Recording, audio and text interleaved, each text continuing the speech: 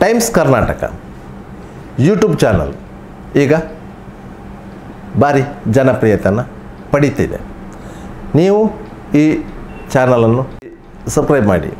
ಇದನ್ನು ನಿಮ್ಮ ಸ್ನೇಹಿತರಿಗೆ ತಿಳಿಸಿ. ಅವರನ್ನು ಸಬ್ಸ್ಕ್ರೈಬ್ ಆಗಲು ಪ್ರೋತ್ಸಾಹಿಸಿ.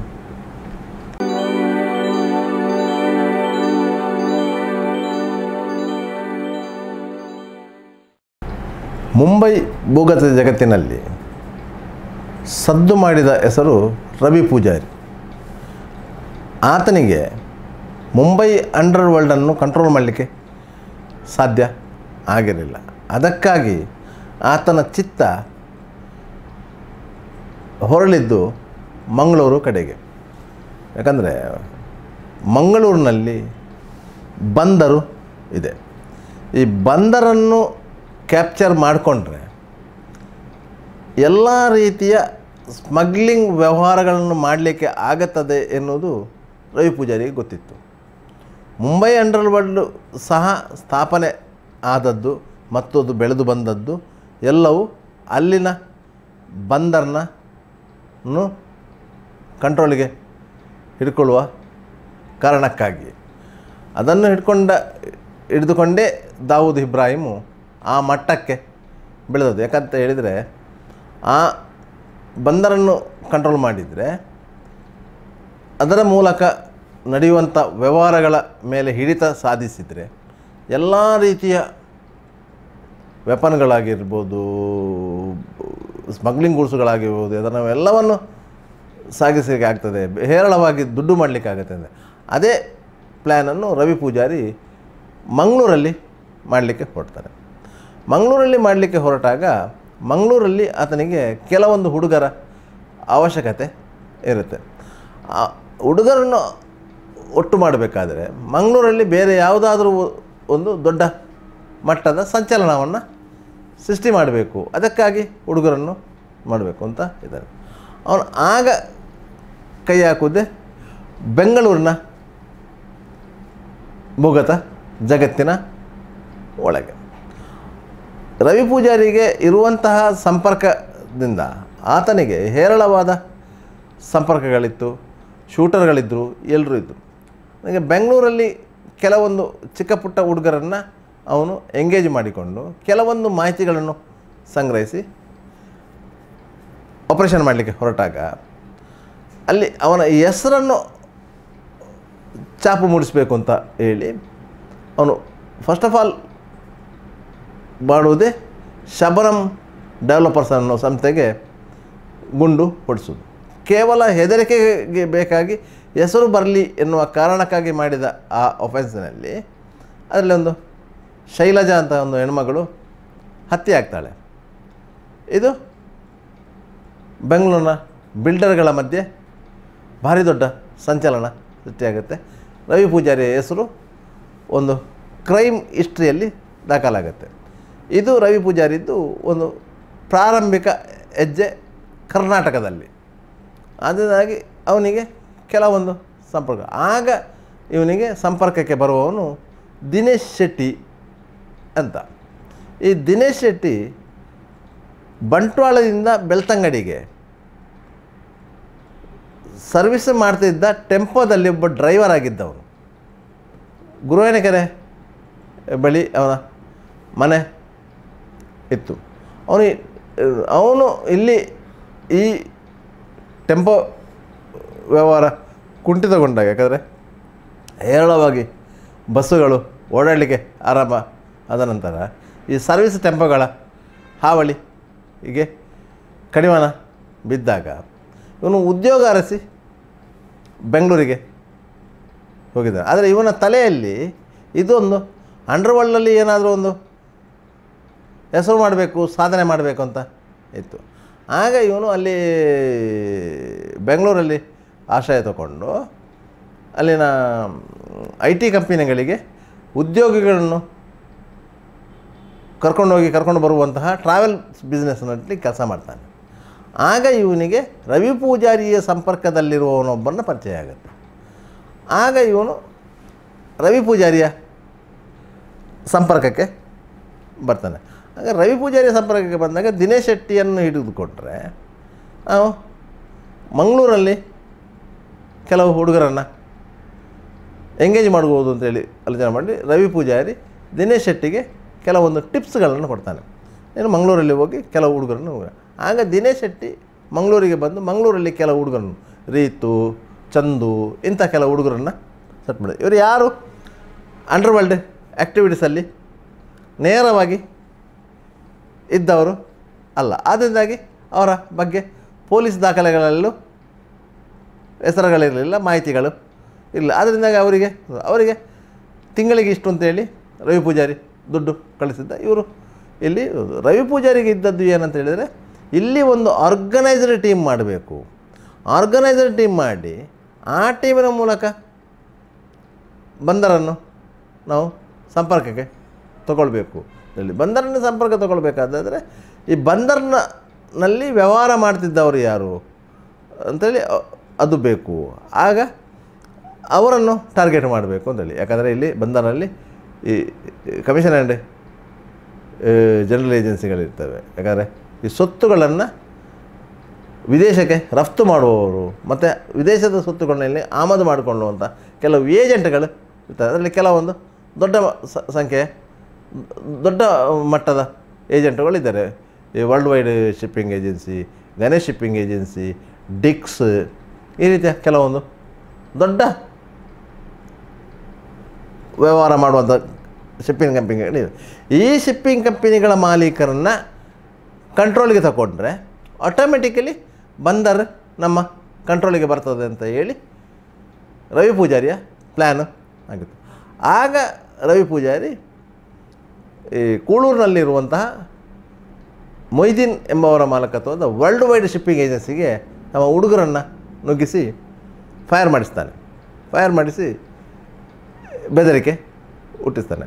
ಅದು ಮತ್ತು ಅದು ಕಾವೂರು ಪೊಲೀಸ್ ಸ್ಟೇಷನಲ್ಲಿ ಕೇಸ್ ಆಗಿದ್ರೆ ಅದರಲ್ಲಿ ಒಂದು ಮೂರು ಮಂದಿ ಆರೋಪಿಗಳನ್ನು ಪೊಲೀಸರು ಅರೆಸ್ಟ್ ಮಾಡ್ತಾರೆ. ರವಿ ಪೂಜಾರಿ ಹೆಸರು. ಇಲ್ಲಿ ಚಾಲ್ತಿಗೆ ಬರುತ್ತೆ.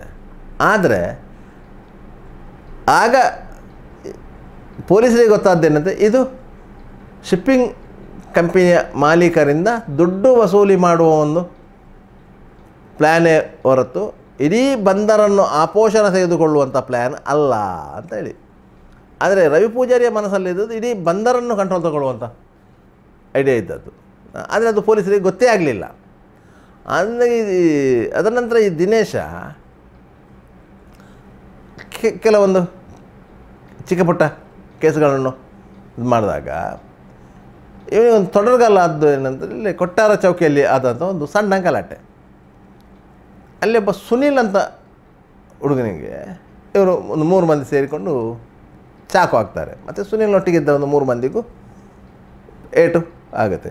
ಈ ಸುನೀಲ್ ಒಂದು ಕುಪ್ಪುಸ್ವಾಮಿ ಅಂತ ಒಬ್ಬ ಫೈನಾನ್ಷಿಯರ್ನ ಕೊಲೆ ಪ್ರಕರಣದಲ್ಲಿ ಸಿಲುಕಿಕೊಂಡು ಜೀವಾವಧಿ ಶಿಕ್ಷೆಗೆ ಒಳಗಾದವನು ಬಜಲು ಜಲ್ಲಿಗುಡ್ಡೆಯಲ್ಲಿ ಅವನು ಮನೆ ಇತ್ತು. ಅವನು ಪೆರೋಲ್ ಮೇಲೆ ಬಂದಾಗ ಅವನೊಟ್ಟಿಗೆ ಒಂದು ನಾಲ್ಕು ಹುಡುಗರು ಸೇರಿಕೊಂಡು ಒಂದು ಜಾತ್ರೆಗೆ ಬಂದಿದ್ದರು ಅಲ್ಲಿ ಈ ದಿನೇಶ್ ಶೆಟ್ಟಿಯೊಟ್ಟಿಗೆ ಇದ್ದ ಚಂದು ಇವರೊಟ್ಟಿಗೆ, ಚಿಲ್ಲರೆ ತಕರಾರಾಗಿ ಇವರು ಅವರ ಮೇಲೆ ಅಟ್ಯಾಕ್ ಮಾಡ್ತಾರೆ. ಅಟ್ಯಾಕ್ ಮಾಡಿದಾಗ ಅವ ಒಬ್ಬ ಸುನೀಲ್ ಡೆತ್ ಆಗ್ತಾನೆ, ಮುಗಿ, ಮೂರು ಮಂದಿಗೆ ಪೆಟ್ಟಾಗತ್ತೆ. ಪೆಟ್ಟಾದಾಗ ಇವರ ಮೇಲೆ ಒಂದು ಕೇಸ್ ಆಗುತ್ತೆ. ಅದರಲ್ಲಿ ಚಂದು ಇವರೆಲ್ಲ ಅರೆಸ್ಟ್ ಆಗ್ತಾರೆ. ಅರೆಸ್ಟ್ ಆದರೆ ಇವರು ಈ ದಿನೇಶ್ ಶೆಟ್ಟಿ ಹೆಸರು? ನನ್ನ ಬಾಯಿ ಬಿಡ್ತಾ ಇರಲಿಲ್ಲ. ಅದನ್ನು ದಿನೇಶ್ ಶೆಟ್ಟಿ ಅದರಲ್ಲಿ ಪಾರಾಗ್ತಾರೆ ಅಂಥ ದಿನೇಶ್ ಶೆಟ್ಟಿ ಇಲ್ಲಿ ಮತ್ತಷ್ಟು ಏನಾದರೂ ಒಂದು ಕೃತ್ಯ ಮಾಡಬೇಕು. ಕೃತ್ಯ ಮಾಡಿದರೆ ನಮಗೆ ಅಂಡರ್ವರ್ಲ್ಡಲ್ಲಿ ಒಂದು ಹೆಸರು ಬರುತ್ತೆ. ರವಿ ಪೂಜಾರಿಗೆ ಇಲ್ಲಿ ಒಂದು ಸ್ಟ್ರಾಂಗ್ ಬೇಸ್ ಆಗುತ್ತೆ ಅನ್ನೋದು ಆಲೋಚನೆ ಅಲ್ಲಿ ಇದ್ದಾಗ ರವಿ ಪೂಜಾರಿಯ ಸೂಚನೆ ಏನು ಬರುತ್ತೆ ಅಂತ ಕಾಯ್ತಾ ಇದ್ದಾರೆ. ಇಷ್ಟೊತ್ತಿಗೆ ಇವನಿಗೆ ರವಿ ಪೂಜಾರಿ ವೆಪನ್ಗಳನ್ನು ಸಪ್ಲೈ ಮಾಡಿರ್ತಾನೆ ಕೆಲವೊಂದು. ಆ ವೆಪನ್ಗಳನ್ನ ಇಟ್ಕೊಂಡು ಇವನು ಇಲ್ಲಿ ತಣ್ಣೀರು ಬಾವಿಯಲ್ಲಿ ಶೂಟಿಂಗ್ ಪ್ರಾಕ್ಟೀಸ್ ಮಾಡಿದ್ದ. ಪ್ರಾಕ್ಟೀಸ್ ಮಾಡಿ ಇದ್ದಾಗ ರವಿ ಇದ್ದಾಗ ಇಲ್ಲಿ Rashid ಮಲ್ಬಾರಿಯನ್ನು C C B police inspector Venkatesh Prasanna arrest ಮಾಡ್ತಾರೆ. ಇಲ್ಲಿ ಕಾರ್ಸ್ ರೋಡಿನ ಚಟ್ಟಂಚಾಲ್ ಅಂತ ಪ್ಲೇಸಲ್ಲಿ ಅವನು ಅಲ್ಲಿ ಇಟ್ಕೊಂಡು ಬಂದು ಇಲ್ಲಿ ಕ್ವಶನ್ ಮಾಡ್ದಾನೆ ಗೊತ್ತಾಗೋದು ಇವರು. ರಶೀದ್ ಮಲ್ಬಾರಿ ಮುಂಬೈನ ಮೋಸ್ಟು ವಾಂಟೆಡ್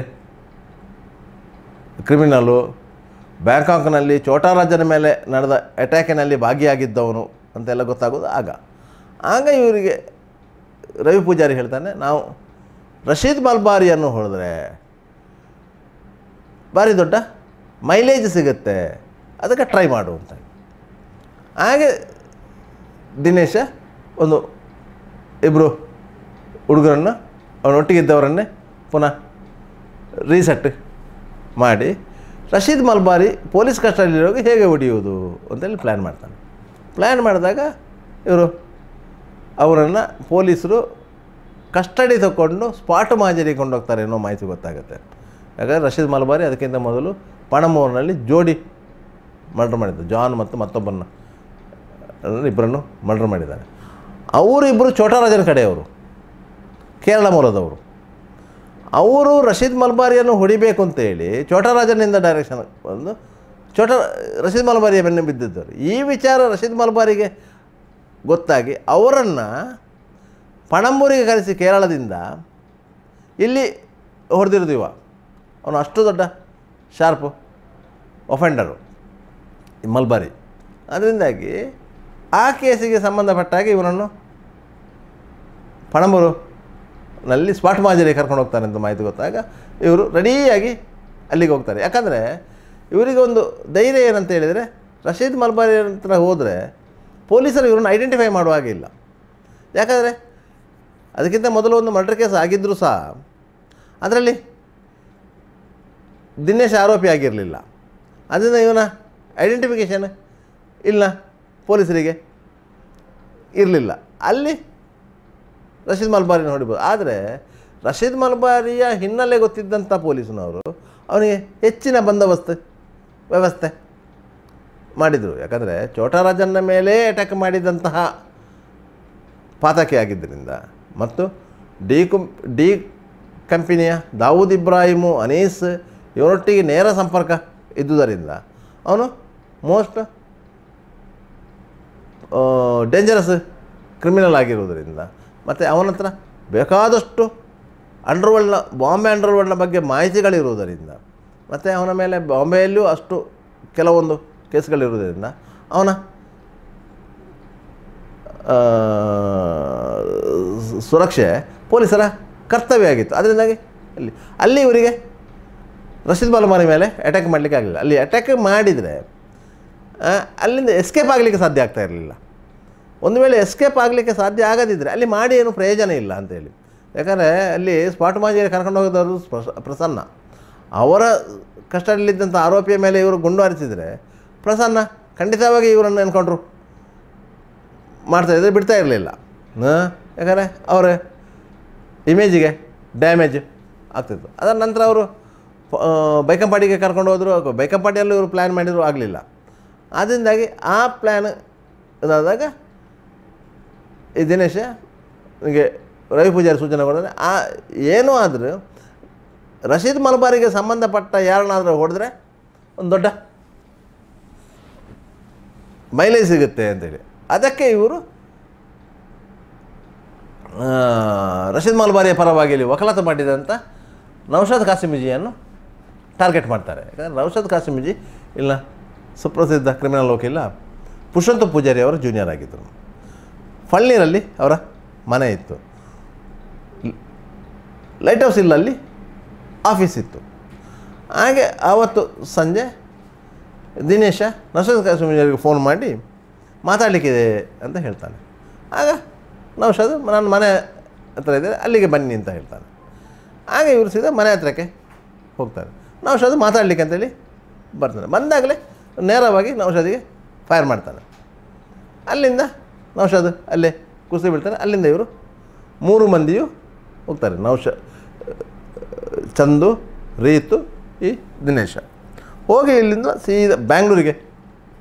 ಹೋಗಿ ಅಲ್ಲಿಂದ ಇವರು ದಿನೇಶ ಅಲ್ಲಿಂದ ಬಾಂಬೆಗೆ ಹೋಗ್ತಾನೆ. ಬಾಂಬೆಯಿಂದ ನೇರವಾಗಿ ಥಾಯ್ಲ್ಯಾಂಡ್ ಹೋಗ್ತಾನೆ. ಥಾಯ್ಲ್ಯಾಂಡಿಗೆ ಹೋಗಿ ಥಾಯ್ಲ್ಯಾಂಡಲ್ಲಿ ರವಿ ಪೂಜಾರಿಯನ್ನು ಕಾಂಟ್ಯಾಕ್ಟ್ ಮಾಡ್ತಾನೆ. ಕಾಂಟ್ಯಾಕ್ಟ್ ಮಾಡಿ ಅಲ್ಲಿ ಈ ರೀತಿ ಆಗಿದೆ, ಇನ್ನು ಏನು ಪ್ಲ್ಯಾನ್ ಮಾಡೋದು ಅಂತೇಳಿ ಅಲ್ಲಿಂದ ರವಿ ಪೂಜಾರಿಯ ಸೂಚನೆಯಂತೆ ಇವನು ವಾಪಸ್ ಬ್ಯಾಂಗ್ಳೂರು ಬರ್ತಾನೆ.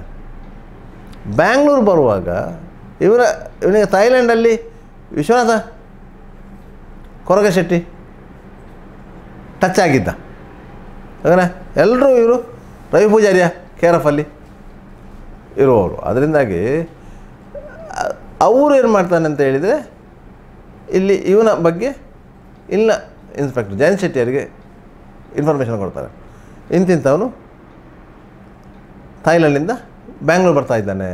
ಅವನು ನೌಶಾದ್ ಮರ್ಡರ್ ಕೇಸನ್ನು ಅಲ್ಲಿ ಎಕ್ಕಿದ್ರು ಅಂತೇಳಿ ಹಾಗೆ ಜಯಂತ್ ಶೆಟ್ಟಿ ಅವರು ಇಲ್ಲಿಂದ ಬ್ಯಾಂಗ್ಳೂರಿಗೆ ಹೋಗಿ ಇವನು ಬರುವಾಗ ಎಚ್ ಎಲ್ ಏರ್ಪೋರ್ಟಿಂದ ಬರುವಾಗ ಎಂ ಜಿ ರೋಡಲ್ಲಿ ದಿನೇಶನನ್ನು ಹಿಡ್ಕೊಂಡು ಹಿಡಿತಾರೆ. ಹಿಡಿದು ಬಂದು ಇಂಟ್ರಗೇಷನ್ ಮಾಡಿ ಅವನಿಂದ ವೆಪನ್ ಎಲ್ಲ ಸೀಸ್ ಮಾಡಿ ಆ ಕೇಸಲ್ಲಿ ಇವರನ್ನು ಜೈಲಿಗೆ ಕಳಿಸ್ತಾರೆ ಆಗ ಇಲ್ಲಿ ಏನಾಗಿತ್ತಂದರೆ ಇವರ ಪರವಾಗಿ ವಕಾಲತ್ತು ಮಾಡಲಿಕ್ಕೆ ಯಾವ ವಕೀಲರು ಬರೋದಿಲ್ಲ ಯಾಕಂದರೆ ಇಲ್ಲಿ ಇವರು ಒಬ್ಬ ವಕೀಲನನ್ನು ಹೊಡೆದಕ್ಕಾಗಿ ಇಲ್ಲ, ಯಾವ ವಕೀಲರು ಇವರ ಪರವಾಗಿ ವಕಾಲತ್ತು ಮಾಡಲ್ಲ. ಆಗ ಅದರ ನಂತರ ಇವರಿಗೆ ಬ್ಯಾ, ಮೈಸೂರಿನ ಒಬ್ಬ ವಿನೋದ್ ಅಂತೇಳಿ ಒಬ್ಬ ವಕೀಲರು ಬಂದು ಇವರ ಪರವಾಗಿ ವಕಾಲತ್ತು ಮಾಡ್ತಾನೆ. ಅದನ್ನು ಮಂಗಳೂರಿನ ಒಬ್ಬರು ವಕೀಲರು ಎಂಗೇಜ್ ಮಾಡಿರ್ತಾರೆ. ಆ ಕೇಸಲ್ಲಿ ಇವರಿಗೆ ಜೀವಾವಧಿ ಶಿಕ್ಷೆ ಆಗುತ್ತೆ. ಜೀವಾವಧಿ ಶಿಕ್ಷೆ ಆಗಿ ಇವರನ್ನು ಬೆಳಗಾಂ ಜೈಲಿಗೆ ಶಿಫ್ಟ್ ಮಾಡಿ ಇಡ್ತಾರೆ. ಯಾಕಂದರೆ ಕನ್ವಿಷನ್ ಕೈದಿಗಳನ್ನು ಸೆಂಟ್ರಲ್ ಜೈಲಲ್ಲಿ ಇಡಬೇಕು. ಸಬ್ ಜೈಲುಗಳಲ್ಲಿ ಇಡಲಿಕ್ಕೆ ಮಂಗಳೂರಲ್ಲಿ ಇರೋದು ಸಬ್ ಜೈಲು. ಅದರಿಂದ ಬೆಳಗಾಂ ಜೈಲಲ್ಲಿ ಇರ್ತಾರೆ ಬೆಳಗಾಂ ಜೈಲಲ್ಲಿ ಇದ್ದಾಗಲೇ ರವಿ ಪೂಜಾರಿ ಇವರನ್ನು ಸಂಪರ್ಕದಲ್ಲೇ ಇರ್ತಾರೆ. ಆಗ ರವಿ ಪೂಜಾರಿ ಹೇಳ್ತಾರೆ, ನೀವೇನು ತಲೆಬಿಸಿ ಮಾಡುವುದು ಬೇಡ. ನಿಮಗೆ ಅಲ್ಲಿ ವ್ಯವಸ್ಥೆ ಮಾಡ್ತೇವೆ. ಅಲ್ಲಿ ಸಬ್ ಜೈಲಿಂದ ಅಲ್ಲಿಂದ ಸೆಂಟ್ರಲ್ ಜೈಲಿಂದ ನಿಮ್ಮನ್ನು ಎಸ್ಕೇಪ್ ಮಾಡ್ತಾರೆ ಅಂತೇಳಿ ಎಸ್ಕೇಪ್ ಇವನ ಮೇಲೆ ಬೇರೆ ಕೇಸುಗಳಿರುವುದರಿಂದ, ಬೇರೆ ಕೇಸುಗಳನ್ನು ಇವನನ್ನು ಪೊಲೀಸರು ಕಸ್ಟಡಿ ತಗೊಂಡು ಕರ್ಕೊಂಡು ಬರುವ ಸಂದರ್ಭದಲ್ಲಿ ಪೊಲೀಸರ ಮೇಲೆ ಅಟ್ಯಾಕ್ ಮಾಡಿ ಇವ್ರನ್ನ ಎಸ್ಕೇಪ್ ಮಾಡೋ ಒಂದು ಪ್ಲ್ಯಾನ್ ಮಾಡ್ತಾರೆ ಬೆಳಗಾಮಲ್ಲಿ ಆ ಪ್ಲ್ಯಾನ್ ಅಲ್ಲಿನ ಬೆಳಗಾಂ ಪೊಲೀಸಿಗೆ ಲೀಕ್ ಆಗುತ್ತೆ. ಲೀಕ್ ಆಗಿ ಅಲ್ಲಿ ಆರು ಮಂದಿ ಬಾಂಬೆ ಗ್ಯಾಂಗ್ಸ್ಟರ್ಗಳು ವಿತ್ ವೆಪನ್ ಅಲ್ಲಿ ಸಿಕ್ಕಿಬಿಡ್ತಾರೆ. ಆದ್ದರಿಂದಾಗಿ ದಿನೇಶ್ ಶೆಟ್ಟಿದ್ದು ಆ ಪ್ಲ್ಯಾನು ಫೇಲ್ಯೂರ್ ಆಗುತ್ತೆ. ಅವ್ರನ್ನ ಎಸ್ಕೇಪ್ ಮಾಡೋ ಪ್ಲ್ಯಾನು ಒಂದು ವೇಳೆ ಎಸ್ಕೇಪ್ ಮಾಡಿ ಎಸ್ಕೇಪ್ ಆಗಿ ಬರ್ತಾ ಇದ್ದರೆ ಇಲ್ಲಿ ಇಬ್ಬರು ಶಿಪ್ಪಿಂಗ್ ಏಜೆನ್ಸಿಯ ಮಾಲೀಕರ ಹೆಣ ಉರುಳ್ ಉರುಳ್ತಾ ಇತ್ತು. ಆಗ automatically N M P T ಬಂದರು. ಅಲ್ಲಿನ ಕಾರ್ಮಿಕರು ಎಲ್ಲರೂ ಒಂದು ಸುಪರ್ದಿಗೆ ಬರ್ತಾಯಿದ್ರು ಅಂತೇಳಿ ರವಿ ಪೂಜಾರಿಯ ಐಡಿಯಾ ಆಗಿತ್ತು. ಅದು ಫೇಲ್ಯೂರ್ ಆಯಿತು. ಅದರ ನಂತರ ಇವರು ಆ ಕೇಸಲ್ಲಿ, ಅದು ನೌಷಾದ್ ಕೇಸಲ್ಲಿ ಇವರಿಗೆ ದೆಹಲಿಯ ವಕೀಲರೊಬ್ಬರು ಬಂದು ಹೈಕೋರ್ಟಲ್ಲಿ ವಾದ ಮಾಡಿ, ಮಾಡ್ತಾರೆ. ವಾದ ಮಾಡಿ, ಅದರಿಂದ ಆ ಕೇಸಲ್ಲಿ ಇವರು ಅಲ್ಲಿ ಎಕ್ಯೂಟಾಗಿ ಬರ್ತಾರೆ. ಎಕ್ಯೂಟಾಗಿ ಬಂದ ನಂತರ ಇವರಿಗೆ ರವಿ ಪೂಜಾರಿಂದ ಯಾವುದೇ ಮಾಹಿತಿ ಇರುವುದಿಲ್ಲ. ನೀವು? ಯಾವುದಕ್ಕೂ? ಹೇಳು. ಅಷ್ಟೊತ್ತಿಗೆ ರವಿ ಪೂಜಾರಿಯೇ ಪೊಲೀಸರ ಕೈಗೆ ಸಿಕ್ಕಿಬಿಡ್ತಾರೆ ಆದ್ದರಿಂದಾಗಿ ರವಿ ಪೂಜಾರಿ ಆ ಪ್ಲ್ಯಾನು ಏನು ಬಂದ, ಮಂಗಳೂರು ಬಂದರನ್ನು ವಶಪಡಿಸಿಕೊಂಡು ಇಲ್ಲಿ ಒಂದು ಮಾಫಿಯಾ ಜಗತ್ತನ್ನು ಕಟ್ಟುವಂಥ ಪ್ಲ್ಯಾನು ಈ ರೀತಿಯಾಗಿ ಫೇಲ್ಯೂರ್ ಆಗುತ್ತೆ ಈಗ ದಿನೇಶ್ ಶೆಟ್ಟಿ ಕಲ್ಲಿನ ಕೋರೆ, ಹೊಯ್ಗೆ ಬಿಸ್ನೆಸ್ಸು ಅಂಥದ್ದು, ಇಂಥದ್ದು ಅಂತ ಹೇಳಿ ಮಾಡಿಕೊಂಡು ಇದ್ದಾನೆ ಆದರೆ ಸಂಪರ್ಕಗಳು ಬಿಲ್ಡಪ್ ಆಗ್ತಾ ಇಲ್ಲ. ಯಾಕಂದರೆ ರವಿ ಪೂಜಾರಿ ಒಳಗಿದ್ದಾನೆ ರವಿ ಪೂಜಾರಿ ಹೊರಗೆದ್ದಿದ್ದರೆ ಇವರ ಸಂಪರ್ಕಗಳು ಮತ್ತಷ್ಟು ಬೆಳೀತಾ ಇತ್ತು. ಈಗ ರವಿ ಪೂಜಾರಿ ಸಂಪರ್ಕವೂ ಕಟ್ಟಾಗಿದೆ ಯಾಕೆ ರವಿ ಪೂಜಾರಿಯನ್ನು ಈಗ ಸಂಪರ್ಕ ಮಾಡಲಿಕ್ಕೆ ಸಾಧ್ಯ ಆದರೆ ರವಿ ಪೂಜಾರಿಯ ಪ್ಲ್ಯಾನ್ ಈ ರೀತಿ ಇತ್ತು ಅಂತ ಹೇಳಿ. ಒಂದು ವೇಳೆ ಆ ಪ್ಲ್ಯಾನ್ ಇಲ್ಲಿ ಸಕ್ಸಸ್ ಆಗ್ತಾ ಇದ್ದರೆ ಮಂಗಳೂರಿನಲ್ಲಿ ಈ ಅಂಡರ್ವರ್ಲ್ಡ್ ಆ್ಯಕ್ಟಿವಿಟೀಸು ಯಾವ ಮಟ್ಟಕ್ಕೆ ಹೋಗ್ತಾ ಇತ್ತು ಮುಂಬೈ ಮಟ್ಟಕ್ಕೆ ಹೋಗ್ತಾ ಇತ್ತು ಯಾಕೆ ಮುಂಬೈನಲ್ಲಿ ಮಾಫಿಯಾ ಜಗತ್ತು ಬೆಳೆದದ್ದೇ ಆ ಬಂದರ್ನ ದಿಸೆಯಿಂದ ಅಲ್ಲಿ ಯಾಕಂತ ಹೇಳಿದರೆ ಅಲ್ಲಿ ಲೋಡಿಂಗ್ ಮತ್ತು ಅನ್ಲೋಡಿಂಗು ಈ ಸ್ಮಗಲ್ ಗುಡ್ಸ್ ಲೋಡಿಂಗ್ ಮತ್ತು ಅನ್ಲೋಡಿಂಗಿಗೆ ಹುಡುಗರ ಸಂಖ್ಯೆ ಎಷ್ಟು ಇದ್ದರೂ ಬೇಕಿತ್ತು ಅವರು ಅನಿವಾರ್ಯವಾಗಿ ಒಂದೊಂದು ಗ್ಯಾಂಗ್ ಗ್ಯಾಂಗ್ಗಳೊಟ್ಟಿಗೆ ಸೇರ್ತಾಯಿದ್ರು ಅದರಿಂದಾಗಿ ಅವರು ಮಧ್ಯೆ ಗಲಾಟೆಯಾಗಿ ಅಲ್ಲಿ ಗುಂಪುಗಳು. ಬದಲಾದ ಈ ಪಠಾಣ್ ಗ್ಯಾಂಗ್ ಆಗಿರೋದು ಮತ್ತೊಂದು ಗ್ಯಾಂಗು ಮತ್ತು ದಾವೂದ್ ಇಬ್ರಾಹಿಂ ಗ್ಯಾಂಗು ಎಲ್ಲ ಬರೋದು ಅದಕ್ಕೆ ಚೋಟರಾಜನ ಗ್ಯಾಂಗ್ ಸೇರಿದ ಮೇಲೆ ಅದು ಕಲರ್ ಬದಲಾಗಿರೋದು ಈ ಸ್ಮಗಲ್ ವ್ಯವಹಾರ ಹೋಗಿ ಮಾಫಿಯಾ ವ್ಯವಹಾರ ಆಗಿರೋದು. ಅದೇ ರೀತಿ ಮಂಗಳೂರಲ್ಲೂ ಆಗ್ತಾಯಿತ್ತು ಅದಕ್ಕೆ ರವಿ ಪೂಜಾರಿ ಪ್ಲ್ಯಾನ್ ಮಾಡಿದ್ದ. ಅದಕ್ಕಾಗಿ ಈ ದಿನೇಶನನ್ನು ಉಪಯೋಗಿಸ್ಕೊಳ್ಳಿದ್ದ. ಆದರೆ ಅದು ಸಕ್ಸಸ್ ಆಗಲಿಲ್ಲ. ಅದರಲ್ಲಿ ಸಕ್ಸಸ್ ಆಗದೇ ಇರಲಿಕ್ಕೆ ಕಾರಣ ಏನು? ಇಲ್ಲಿನ ಪೊಲೀಸ್ ವ್ಯವಸ್ಥೆ. ಯಾಕಂದರೆ ಮುಂಬೈನಲ್ಲಿ ಆ ಮಾಫಿಯಾ ಜಗತ್ತು ಬೆಳೀಲಿಕ್ಕೆ ಮುಖ್ಯ ಕಾರಣ ಆದದ್ದೇ ಪೊಲೀಸ್ ವ್ಯವಸ್ಥೆ. ಅಲ್ಲಿ ಅವರು ಆ್ಯಕ್ಷನ್ ತಗೊಳ್ತಾ ಇರಲಿಲ್ಲ. ಒಂದು ಮರ್ಡ್ರ್ ಆದರೆ ಏನಿಲ್ಲ. ಆರು ತಿಂಗಳಲ್ಲಿ ಜೈಲಿಗೆ ಹೋಗಿ ವಾಪಸ್ ಬರುವಂಥದ್ದು. ಬರೋದು. ಅದರಿಂದ ಅದು ಎಲ್ರಿಗೂ ಅಭ್ಯಾಸ ಆಗಿ ಹೋಯಿತು.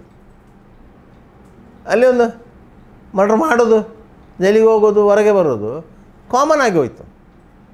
ಅಲ್ಲಿ ಬೇರೆ ಬೇರೆ ರಾಜ್ಯಗಳಿಂದ ಬಂದವರೆಲ್ಲರೂ ಇದೇ ರೀತಿ ಮಾಡ್ಕೊಂಡು ಹೋಗೋದು ಮಾಡ್ಕೊಂಡು ಹೋದ್ರಿಂದ ಅಲ್ಲಿ ಒಂದು ವ್ಯವಸ್ಥೆ ಬಂದ ಅದೇ ವ್ಯವಸ್ಥೆ ಮಂಗಳೂರಲ್ಲಿ ಬೆಳೆ ಬರಲಿಕ್ಕೆ ಇಲ್ಲಿನ ಪೊಲೀಸರು ಬಿಡಲಿಲ್ಲ. ಕಾಲಕಾಲಕ್ಕೆ ಪ್ರತಿಯೊಂದು ಇದನ್ನು ಮಾನಿಟರ್ ಮಾಡ್ತಾ ಇದ್ದರಿಂದಾಗಿ ಇಲ್ಲಿ? ಆದರೆ ಇಲ್ಲಿ ಘಟನೆಗಳು ನಡೆದಿದೆ ಘಟನೆ ನಡೆದಿದೆ ಘಟನೆ ನಡೆದಾಗ ಆ ಬಗ್ಗೆ ಸೀರಿಯಸ್ ಆಗಿ ಆ್ಯಕ್ಷನ್ ತೊಗೊಂಡಿದ್ದಾರೆ. ಹೊರತು ಅದನ್ನು ಏನೂ ಅಲ್ಲ ಅಂತ ಹೇಳಿ ಆಲೋಚನೆ ಮಾಡಲಿಲ್ಲ. ಇದರ ಪರಿಣಾಮ ಮತ್ತೆ ಬೀಳ್ತದೆ, ಬರ್ಬೋದು ಅನ್ನೋದು ಗೊತ್ತಿತ್ತು.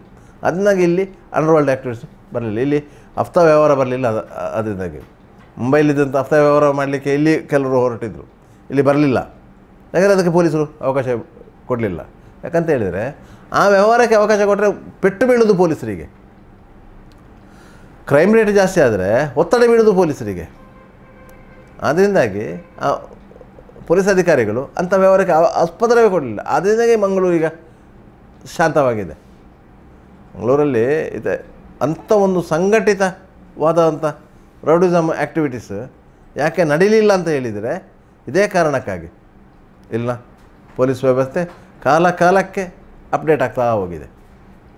ಅಧಿಕಾರಿಗಳು ಅಪ್ಡೇಟ್ ಆಗ್ತಾ ಆಗ್ತಾ ಹೋಗಿದ್ದಾರೆ. ಅವರು ಪ್ರತಿಯೊಂದನ್ನು ಸೂಕ್ಷ್ಮವಾಗಿ ಗಮನಿಸಿದೆ. ಪ್ರತಿಯೊಂದು ಕೇಸಿನ ಬಗ್ಗೆಯೂ ಆಸ್ಥೆಯಿಂದ ನೋಡ್ಕೋತಾ ಇದ್ದಾರೆ. ಅದನ್ನ ಇಲ್ಲಿ ಆಗಲಿಲ್ಲ. ರವಿ ಪೂಜಾರಿ ಅಷ್ಟೂ ದೊಡ್ಡ ಪ್ಲ್ಯಾನು ಎಲ್ಲ ವ್ಯವಸ್ಥೆ ಇತ್ತು. ಅವನ ಹತ್ರ ಹುಡುಗರಿದ್ದರು ವೆಪನ್ ಸಪ್ಲೈ ಮಾಡಲಿಕ್ಕಿತ್ತು, ದುಡ್ಡಿತ್ತು, ಎಲ್ಲವೂ ಇತ್ತು ರವಿ ಪೂಜಾರಿಗೆ. ಸಾಧ್ಯನೇ ಆಗಲಿಲ್ಲ. ಅದರ ಪರಿಣಾಮ ಏನಾಯಿತು? ರವಿ ಪೂಜಾರಿ ಇಲ್ಲಿ ಟ್ರ್ಯಾಪ್ ಆದ? ಮುಂಬೈ ಪೊಲೀಸರಿಗೆ ಸಾಧ್ಯ ಆದದ ಆಗದ್ದನ್ನು ಮಂಗಳೂರು ಪೊಲೀಸರು ರವಿ ಪೂಜಾರಿಯನ್ನು ಟ್ರ್ಯಾಪ್ ಮಾಡಿ ಮಾಡೋಂಥ ಪ್ರಯತ್ನ ಮಾಡಿದರು. ಅದರಿಂದಾಗಿ ಅವನು ಟ್ರ್ಯಾಪ್ ಆಗಿ ಜೈಲಿಗೆ ಒಳಗೆ ಬಂದ. ಬನ್ನಂಜರಾಜನನ್ನು ಅದೇ ರೀತಿ ಟ್ರ್ಯಾಪ್ ಮಾಡ್ಕೊಂಡು ಬಂದರು. ಅಂದರೆ ಒಂದು ಸಂಘಟಿತವಾಗಿ ಒಂದು ವ್ಯವಸ್ಥೆ ತನಿಖೆ ಮಾಡ್ತಾ ಹೋದರೆ ಎಂಥವರನ್ನೂ ಟ್ರ್ಯಾಪ್ ಮಾಡ್ಬೋದು ಅನ್ನೋದು ಸಾಬೀತುಪಡಿಸಿದರು ಅದರ ಪರಿಣಾಮ ಏನಾಯಿತು? ಈಗ ವಿದೇಶದಲ್ಲಿ ತಲೆಮೆರೆಸ್ಕೊಂಡು ವಿಕ್ಕಿ ಶೆಟ್ಟಿ ಆಗಿರ್ಬೋದು ವಿಶ್ವನಾಥ ಕೊರಕ ಶೆಟ್ಟಿ ಆಗಿರ್ಬೋದು, ಯಾರೂ ಆದರೂ ಈಗ ಅಷ್ಟೊಂದು ಆ್ಯಕ್ಟಿವಿಟೀಸಲ್ಲಿ ಇಲ್ಲ. ಯಾಕಂತ ಹೇಳಿದರೆ, ಈ ಪೊಲೀಸರು ಯಾವಾಗ ಹೇಳ್ಕೊಂಡು ಬರ್ತಾರಂತ ಗೊತ್ತಿಲ್ಲ. ಒಂದು ಸಣ್ಣ ಕ್ಲೂ ಸಿಕ್ಕಿದ್ರೆ ಸಾಕು. ಅದನ್ನು ಬಿಲ್ಡಪ್ ಮಾಡ್ಕೊಂಡು ಹೋಗ್ತಾರೆ. ಇವರಿಗೆ ಬೇಕಾಗಿರೋದೇನು ಅವನು ಅಲ್ಲಿ ಯಾವ ಹೆಸರಲ್ಲಿ ಇದ್ದಾನೆ ಅನ್ನೋದು ಮಾತ್ರ ಸಾಕು. ಎಲ್ಲಿದ್ದಾನೆ? ಯಾವ ಹೆಸರಲ್ಲಿ ಇದ್ದಾನೆ? ಎಷ್ಟೋ ಒಂದು ಪಾಸ್ಪೋರ್ಟ್ಗಳಿವೆ ಎಷ್ಟು ಹೆಸರುಗಳಿಲ್ಲ. ಇಷ್ಟು ಗೊತ್ತಾದರೆ ಇವರು ಅದಕ್ಕೆ ಸರಿಯಾದ ತನಿಖೆಯನ್ನು ಮಾಡೇ ಮಾಡ್ತಾರೆ, ಅದಕ್ಕೆ ಸರಿಯಾದ ದಾಖಲೆಗಳನ್ನು ಸೃಷ್ಟಿ ಮಾಡೇ ಮಾಡಿ, ವಸೂಲು ಮಾಡೇ ಮಾಡ್ತಾರೆ. ಅವರನ್ನು ಹೇಳ್ಕೊಂಡು ಬಂದೇ ಬರ್ತಾರೆ ಇಲ್ಲಿನ ಕಾನೂನು ವ್ಯವಸ್ಥೆಗೆ ಅಂತೇಳಿ ಇಲ್ಲಿನ ಕಾನೂನು ವ್ಯವಸ್ಥೆ ಬಂದ ಮೇಲೆ ಅವನು ರಿಲೀಸ್ ಆಗುವಂಥ ಪ್ರಶ್ನೆ ಇಲ್ಲ. ಈಗ ಬನ್ನಂಜ ರಾಜ ಬಂದ. ಅವ- ಅವನಿಗೆ ಅಲ್ಲಿ ಜೀವಾವಧಿ ಶಿಕ್ಷೆ ಆಯಿತು. ಜೀವಾವಧಿ ಶಿಕ್ಷೆ ಮುಗಿಸ್ಕೊಂಡು ಹೊರಗೆ ಬರ್ತಾನ. ಇಲ್ಲ. ಹೊರಗೆ ಬರುವ ಮೊದಲೇ ಅವನು ಸಹಜ ಸಾವಾಗಿ ಸಾಯ್ ಸಾಯ್ಬೋದು. ಯಾಕಂದರೆ ಅಷ್ಟು ಇದಿದೆ ಅವನ ಬಾಡಿಯಲ್ಲಿ. ಅದರಿಂದಾಗಿ ಅವನನ್ನು, ಅವನಿಗೆ ಪುನಃ ಜೈಲಲ್ಲಿ ಕೂತು ಆಳಲಿಕ್ಕೆ ಆಗಲ್ಲ. ಹಿಂದೆಲ್ಲ ಡಾನ್ಗಳು ಜೈಲಲ್ಲಿ ಕೂತು ಅಳಿದವರಿದ್ದಾರೆ ಇಂಥವರನ್ನು ಆ ಮಟ್ಟಕ್ಕೆ ಬೆಳಲಿಕ್ಕೆ ಬಿಡಲ್ಲ. ಜೈಲು ವ್ಯವಸ್ಥೆಯಲ್ಲಿ ಎಷ್ಟೋ ಲೋಪ ಲೋಪದೋಷಗಳಿದ್ದರೂ ಇಂಥವರ ಬಗ್ಗೆ ಭಾರಿ ಜಾಗ್ರತೆಯಲ್ಲಿ ಇರ್ತಾರೆ. ಅದು ಸಾಧ್ಯ ಆಗೋದಿಲ್ಲ ಅಂತ.